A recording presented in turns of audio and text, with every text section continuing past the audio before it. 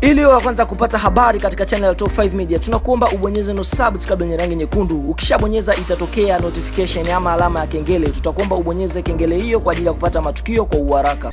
Karibu sana katika mfululizo ule wa kufuatilia matukio yetu, na leo tunaenda kukuchambulia ile tamthilia ambayo inafanya vizuri sana katika industry ya series. Basi unaweza ukasema ni tamthilia ambayo inafanya vizuri sana katika nchi ya Tanzania. Tamthilia hii si nyingine, ni tamthilia ambayo inafahamika kwa jina la Razia Sultan. Razia Sultan ni tamthilia ambayo inaonyesha uhalisia wa maisha fulani ambayo yalitokea katika nchi ya India, ambapo kipindi hiko ilikuwa inaitwa Delhi e, katika karne ya 13 watu, na ifahamike kwamba tamthilia hii wanachoigiza ni cha ukweli ambacho kilisha kutokea katika karne ya kumi na tatu.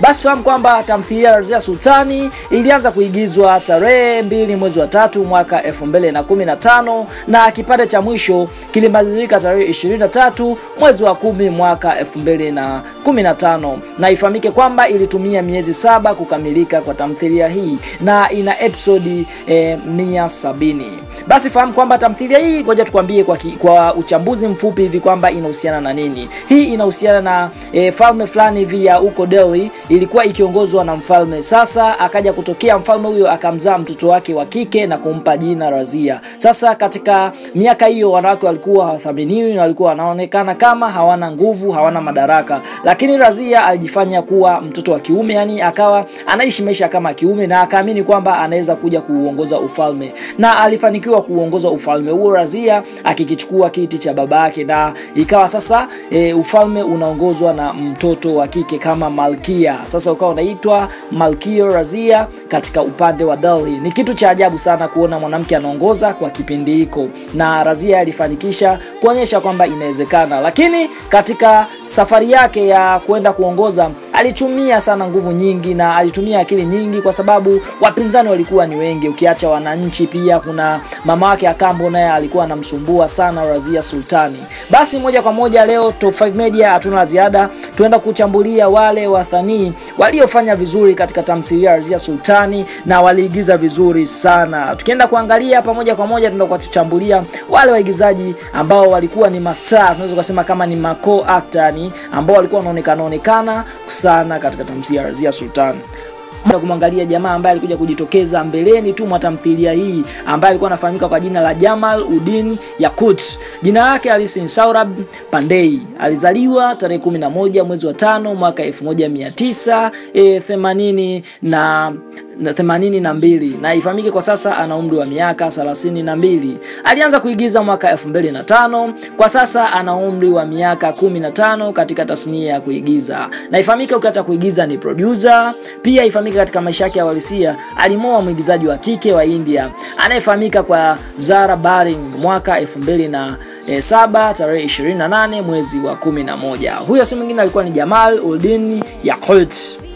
Baada ya kumwona huyo sasa, tunaenda kumwangalia yule msanii ambaye alifanya vizuri, tunaweza tukamwita ni co-actor ambaye alifanya vizuri sana katika tamthilia ya Razia Sultani ama main actor. Huyu si mwingine ni Malik Altuan, jina lake halisi ni roit Purohit, na ifahamike kwamba yeye aliigiza kama mtu ambaye anampenda Razia Sultani na alifanikiwa sana kumpenda na alimtetea sana pale Razia alipokuwa anatetereka, basi alikuwa akimtetea, alikuwa kama ni mlinzi wake sometimes hivi nini, tumeona vitu kama hivyo. Ifahamike maisha yake ya uhalisia alizaliwa tarehe 8 mwezi wa sita mwaka 1986. Kwa sasa ana umri wa miaka 34, alizaliwa huko India na alianza kuigiza mwaka 2009. Kwa sasa ana umri wa miaka 11 katika tasnia ya kuigiza. Mambo hayo ifahamike. Pia alimwoa Sheena Bajaji e, tarehe 22 mwezi wa kwanza mwaka 2019 baada ya kukaa naye kwenye mahusiano kwa muda wa miaka sita. Je, kama ni mtu unayetazama hapa chaneli ya Top 5 Media, tuambie unaweza ukakaa na mtu wako kwa muda wa miaka sita na baadaye mkaja kufunga ndoa ama ndo chapa ilale?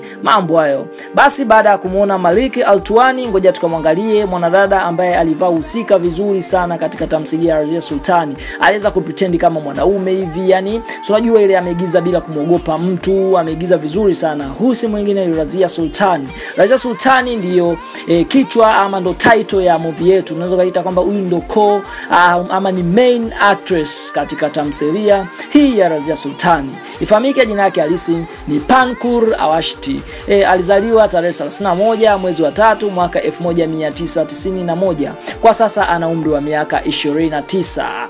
Ni muhindi e, kabisa ni, ni muhindi. Alianza kuigiza mwaka 2014. Kwa sasa ana umri e, wa miaka sita katika tasnia ya uigizaji, na ifahamike kwamba yeye alianza kuigiza tu e, alipokuwa na miaka e, 23. Mambo hayo.